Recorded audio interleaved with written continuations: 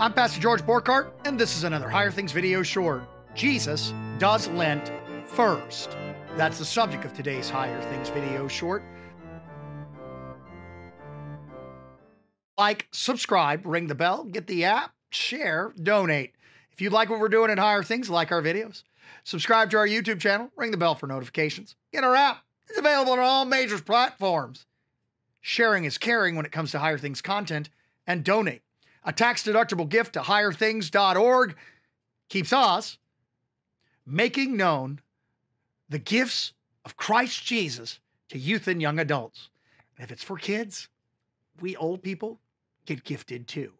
Give today. A look at the traditional gospel lesson for the first Sunday in Lent. Jesus was led by the Spirit. And that word can also mean driven by the Spirit into the wilderness to be tempted by to diabolu. Uh, that's the devil. And having fasted 40 days and 40 nights, he was hungry.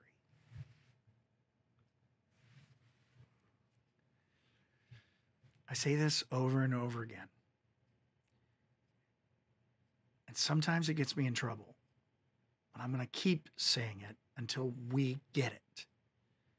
Lent is first and foremost about Christ. You even see it in the text. This Sunday, Jesus is tempted after fasting 40 days and 40 nights. Before we do a 40, and I don't mean beer, there I mean fast, Jesus does a 40. Before we fast, he fasted. And his fast counts for us. And his fast gives life to our fast and gives meaning to our fast and gives repentance to our Lent.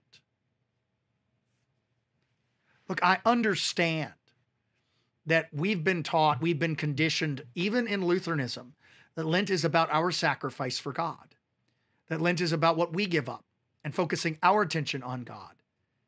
And I won't dispute that to a point. But before that happens, before we start talking about what we're giving up, before we focus our attention on what's going on in our religion and in our life, first and foremost, Jesus goes to the cross to save us.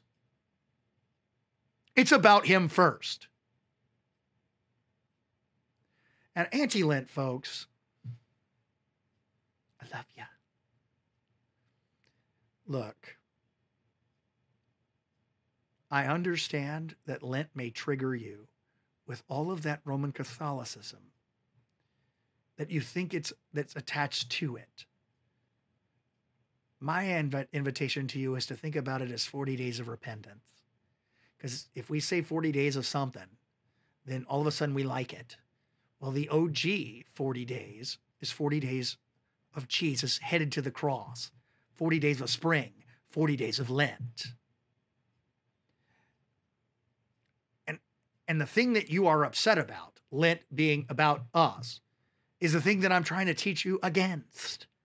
It's not about us, it's about Him. And it becomes about us because we're repenting of it being about us. So repent about you and fix your eyes on Jesus' Lent for you because his Lent saves. You can make all the changes. You can do all the things that you want to do. You can change your diet. You can change the way you look. You can change the way you feel. You can lose weight. You can exercise. You can give up this sin or that sin. Please do. You can do all the things that you want to do and connect it all to Lent.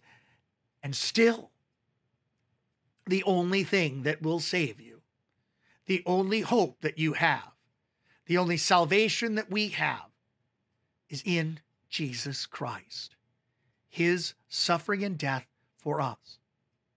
It's the majority of the Gospels. The majority of each Gospel is the Passion narrative. That's what most of it is. The same can be said for us. Our life as Christians should be centered on the suffering, passion,